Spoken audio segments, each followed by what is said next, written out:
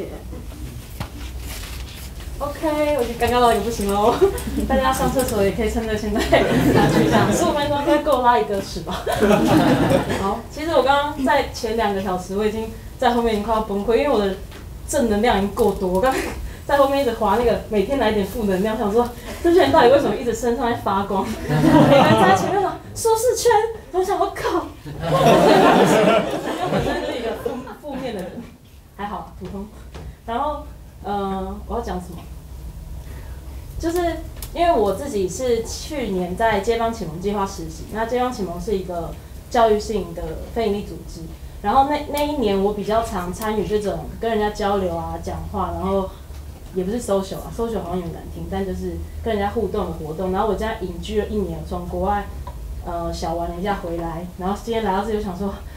天哪！噩梦，然后，但是我今天要讲的是，呃，有关里奥纳多·迪卡皮我要更像那个 Kathleen 是吗？我绝对不是什么里奥纳多基金会，我真的不知道为什么东西。就是我其实只是那一天刚好奥斯卡那一天是这个活动的讲者介绍的 deadline，然后他看我刚看，说完蛋死定，我真的不知道我的题目叫什么，然后也不知道，因为其实我不太了解，呃，焦点他们就是创人物这个活动每个人的那个。就他所谓的主题大概是什么方向，然后我就看看看，他说哦，他终于得奖了，然后就整个一个手滑就立刻，别让他都底下给我，然后就 send 出去。然后后来那个活动专业出来，然后想要看每个人说，哇靠，成功的定义，我想这个太尴尬。那后来后来我要讲震惊的喽。后来里奥纳多在发表他的得奖感言的时候，他就讲到了有关环境啊、生态等等的。然后就开始真的对这个人有一点兴趣，因为其实我原本跟他也不是说很熟，我也不私下也有在跟他聊天，知道吗？跟他没有什么交集，知道他演了一些演了一些电影啊，就是都其实蛮成功啊，什么《神鬼交锋》，然后《全面启动》《大亨小传》《华尔街之狼》等等等等。海叔不熟。我没有都没有去探他的班，很麻烦。然后他讲的那些嗯，他的得奖感言，我就觉得。一个人，他虽然说他在他的成就已经是我们都有目共睹，但是他终于得到了奥斯卡影帝。那时候整篇 FB 全部都是洗他的吧，然后我就觉得他等了那么久，他上台拿到麦克风那一刻，讲的是有关环境的事情，然后就觉得我就开始上网去查这个人到底是一个怎么样的人。后来我才知道他其实很有钱，呃，我不确定他有很有没有钱，但应该比我有钱一点。他开 Toyota 的车。然后他去年或前年办了一场艺术拍卖会，大概所得十亿新台币左右，他捐给全球全球行动慈善的组织机构。然后为了同性权益，还有尼泊尔的一只老虎，他可能捐了一亿新台币，就是声援这些事情。那我觉得他是身为一个这么有名声的好莱坞影帝，终于可以叫他影帝，呃，奥斯卡影帝，呃，他对社会。所做出的回应是用这种方式，那我在想，我们每一个人，就算我们不是那么有钱，我们不是那么有能力，我们的影响力可能没他大，但是我们是不是也都有办法用我们自己的方式对社会做出一个回应？但这个时候你可能就会想说，哎，这个字有点不清楚，再打你一次，他就是我他妈的连自己都喂不饱了，还要谈什么社会责任？所以旁边就有小小问题，就是你自我跟社会的平衡点到底在哪里？然后像我刚刚有说过。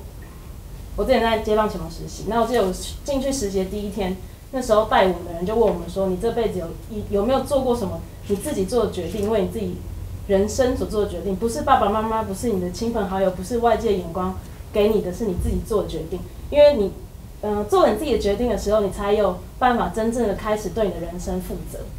然后做这简报的时候，因为你也知道，看看得出来我不是很会做简报的人，还要放一下我自己的照片，所以我就想说，哦。”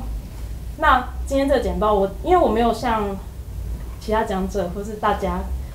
就是有常出国啊或什么什么很多很厉害的经验，所以我今天就只想讲两件事，就是我两个很重要的决定，在我生命中它带给我的影响。第一个就是在我二十岁的时候，我参与参与了学生事务，因为我大一的时候大概十八十九岁，就跟张震岳所说的一样。差不多都是为爱掉眼泪的一个年纪，每天就只想着恋爱啊，跟朋友出去玩，夜冲夜唱，随便冲随便弄，去夜店摇啊，随便。然后到了嗯要升大二的时候，刚好学有一个学长就问我说：“哎，你要不要来学生会看看？”然后其实我那时候也没有想说，哦，我要进去脱离舒适圈，找到自我，完全没有。我只是觉得，哦，好啊，反正我闲着也是闲着，就开始进去。然后刚好那一年也是我升大二，所以系学会要换正副会长，然后我就跟另外一个搭档，就当了系学会副会长，然后，呃，同时在学生会就是当一些小小的干部，开始接触很多事情。然后越陷就越深，就像爱情好像流沙。然后我在要升大三的时候，就一头踏入了选学生会会长这件事情。然后我朋友就说：“你为什么要那么傻？你可以继续过你糜烂的人生，你干嘛淌那潭浑水？你知道你要面对校长，你知道你礼拜一到礼拜五每天早上都要去开会吗？”我说：“呃，我不知道。”但后来我还是觉得当下那个那个学校氛围的环境。对我的冲击是，哦，我以前是国立台北教育大学毕业的，我刚刚知道有个学妹在这里，然后，嗯，在那个学校那时候的氛围给我的是，其实很多人都在抱怨，今天学校做了一个决策，或是你的系上做了一个决策，你每天都在抱怨说，干学校烂透了，怎么会这样子？可是当有一个小一个小小的机会，它真的只是一件小事情降临到你的身上的时候，你有机会去选去做这件事情的时候，为什么都没有人要做？谁要啊？谁要扛那烂摊子啊？可是我觉得这是一个社社会的缩影，就是抱怨的人很多，可是你真的愿意卷起袖子去做事情，愿意淌那浑水人很少，所以我就觉得好了，天将降大任于斯人也，我就是投入了这个选举。然后我在这个选举，我不敢说我自己做的很好，因为可是我有一个很深的体悟，就是你做一件事情一定会失败，就是不可能百分之百你是完美的，就像你。你要做一个决策，关于全校学生，国北教已经算小的喽，但是一定一个决策会让你有正面跟负面的评价，这是你没办法避免的事情。可是如果你不去做的话，你离成功永远都是那么远。至少你踏出去做了一点，你就算被骂了，就算你委屈，就算你半夜偷哭，但是至少你开始去做那件事情。然后接下来要讲第二个决定，就是我现在在做的事情。我是不是很喜欢叫他创业啊？因为听起来变态，因为我也不觉得在创业，它比较像是一个小实验。然后这件事情是，嗯，我二十二岁的时候，就是大三、大四、大三、大四那个阶段，也是学生会会长带给我的延续性的影响。就是因为我当学生会会长之后，我开始处理公众议题，然后刚好我那年又三一八，然后我们学校工程延宕什么什么，叭叭叭，很多鸟事就发生在我身上，我也不知道我是怎么样。然后我就开始开始关心社会的事情。然后开始发现，哦，我也不是那么自私。我开始想到更多更多的人，所以我要做，我现在在做这件事情是创，呃，我想要开一家咖啡厅，应该很多人都有曾经想过这个梦想，就是典型年轻人的愿望，开一家咖啡厅。但是我希望这个咖啡厅是可以，呃，联系社会上不同温层、不同面向、用不同方式生活着的人，因为像常最常去。咖啡店应该就是年轻人吧，大概我们这辈或三十几岁这样子，四十几这样差不多。那我们很多人其实不太会去关心社会上跟我们很遥远的议题，所以我希望可以借由这个创业，开启大家对社会的感知。因为像我记得我们刚开始，大概现在快要一年了。刚开始的时候是我们办了一个活动，是有关儿福盟。因为那时候我看到，我只是随便在就华 FB，然后看到说，其实。台湾小学生就平均不是台北市就是台湾有四成大概四成左右小学生是没有办法好好的开学，他们可能要背负家计，他们可能有很多种种原因，不像我们那么幸运的，就是这样去开学。就很简单的发想，就办了一个很简单的活动，就是大家跟我们买咖啡或是买我们做的简单的甜点，我们把那些钱捐给儿福我们把这个资讯丢出去给大家说，其实有很多小朋友过得很辛苦，有很多家庭过得很辛苦。但后来，因为我们东西卖的也不是说很贵，不是像一杯一百、两百那种东西，所以卖出去之后，其实所赚的不多，大概几千块。我如果没有记错的话，大概几千块钱。我们把那钱捐给儿福盟。其实我不太确定那个钱到底有没有办法真的实质的帮上一些小朋友什么，但是至少我们抛出去这个议题，那些跟我们买咖啡的人、买甜点的人，他们看到，他们知道哦，原来是这样子。后来其实你会看到一些朋友在他们自己的 FB 也分享了这些小朋友。嗯，就台湾有这些问题的存在，台湾有很多问题等待着有人去解决。那当我们没有时间奉献给小朋友的时候，或是奉献给社会议题的时候，我们唯一可以做的是用我们手上的资源，可能是钱，可能是嗯东西给他们。然后在嗯，这是其中一个活动，我们办了很多小小小小，我们为了推广，我不知道你们看过《太阳的孩子》，前阵子一部蛮有名的电影，我们希望这部电影能传达给大家的力的东西，可以传达给更多人，所以我们包了电影的场，我们没有赔有赔钱吗？我忘记了，但就是我们去做一些尝试性的东西，虽然这个创业。到目前为止没有办法把我养得很好，虽然说我是有点胖，但也不代表 被养得很好。但是在这快要一年的时间，我的对于这件事情创业的体悟的体认的感知是，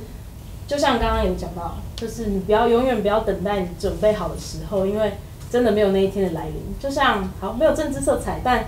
你们觉得蔡英文真的准备好当总统了吗？我不这么觉得，但是。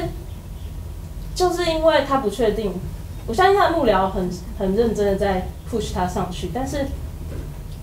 但是很多东西是你不走在那条路上，虽然说我不知道是哪一条，忠孝东路吧，走在那条路上 才会真的去遇到的事情。然后实践的这个过程，实践的价值就在于你在解在路上解决这条这个问题的时候，得到的答案绝对会比你预设的还要多。嗯。所以就回到刚刚那个问题，社会跟自我要怎么达到平衡？就像之前街坊启蒙一直攀着街坊启蒙，真的不好意思。街坊启蒙给我一个很大的观念是，嗯，你的每你做的工作，你的职业，其实一定可以呼应或一定可以解决社会上的一个问题或是一个需求。但我相信很多人还没有办法体会这种感觉，就是我只是为了赚钱啊，我干嘛啊？我干嘛这样搞我自己？不是真的那种搞自己，但就是 我干嘛这样就是搞我自己？我有时候也会觉得，我去找一份正职就好，坐在那里等打卡，每每个月赚个两万六、两万八什么之类的。我干嘛要自己在那边搞创业？然后今天去跟人家谈这个，明天去跟人家谈那个，然后今天长寿失败，那天又为了什么而哭泣？我干嘛要心情起伏，给自己压力这么大？尤其是当你的爸爸妈妈还有社会的价值观一直加在你身上，说你已经毕业了，为什么你不去找一个正职的工作？为什么你要做这些看起来就会失败的东西？可是我觉得，就是在。你不断的挫折，但是你下一秒你又找到了新的一个动力的时候，这个反反复复的过程会让你更确定你是不是真的想要做这件事情。因为我相信，如果你真的不是很确定的人，在第一次遇到挫折、第二次遇到挫折的时候，你就会放弃了。所以，当你越来越确定的时候，你就只好硬着头皮 做下去。就像里奥纳多，你看我有前后文呼应哦。就像里奥纳多，他演了那么多好电影，呃，入围了那么多次，但他没有得到。那个阶段性的肯定，他一定也失落，他一定每次那个又念到名字不是他，然后镜头还要 take 他，他还要这样，他应该也是蛮痛苦的，但是然后他最后演了一个快要被熊吃掉的电影之后，他终于得到了奥斯卡影帝，就是，所以我觉得在你呃反反复复一直确认自己是不是真的热衷于你现在所做的这件事情的时候，你一定会找到。你自己的价值，还有你正在为这个社会解决什么问题，然后永远你可以相信现在时事不好，不适合做这件事，但是千万不要等待一个好的时机降临在你的身上，因为那个时机是你要自己去创造的哟。谢谢大家。有人要问问题吗？没有要宣传一下你的啊？不好意思啊。哦，就是我现在在做的是一个有粉丝专业，叫做 Double Chin 译文咖啡馆。Double Chin 的起源是来自于，就是 Double，其实本来是有点双。这个我特别有感觉啊。跟我差不多感觉，就是原本想要跟双手有关，可是我觉得双手你知道已经感觉用到烂掉，然后想说，因为我是。一直希望可以有那个连接的感觉，所以就有一个双，然后就像检视了一下我上，就是整个身体上，哦，双下巴，差不多就这个感觉了，所以我就我们的名字叫做 Double Chin 艺文咖啡馆，然后上面常常会有一些活动，如果大家有兴趣，也可以上去看看。哎，好贴心哦。就这个很好吃哦。有什么还有什么问题吗？不然我就要。我想问，就是除了办活动之外，你用什么方式把社会上那么多不同层的人连接在一起？嗯，因为对，因为我们现在还没有实体的店面，在一个网络以一个网络的世界来说，就是因为我们的活动不是说真的像有这样子的活动或什么，像我们前阵子为了推广环保吸管这件事情，就我们跟台湾的厂呃一个做吸做环做环保吸管厂商就是联络接洽，然后我们把这个东西推在。我觉得我的回答好烂了，怎么办？我让你失望了。就是你好负能量，真的，还没答完。就是我觉得很好，好继续讲。就是我们把那个消息，其实我觉得最重最主要的是你把那个消息发布出去，然后你借由一些比如说分享，可以很很 low 很传统的分享，你可以打折什么，这个消息很快，其实自然而然就会传播出去。然后从我们。发起就是我们为了推广环保吸管这件事情，大概影响了两三百人吧。以我自己的统计，就是呃所谓的串联社会上不同层面，看到让他们看见不同问题。对我来，对我而言是，当以前我的朋友他根本就不会想到吸管这件事情会对还会对环境会对生态造成什么样的影响。但是我们今天为了推广这个，我们发布出去，开始越来越多人知道，哦，原来吸管虽然很小，但是它对整个环境的影响是那么大，就是这是我对于现在渐渐浅浅的浅见，就对于社会议题的连接，嗯，很烂吗？没关系。好，那好，好，谢谢，谢谢。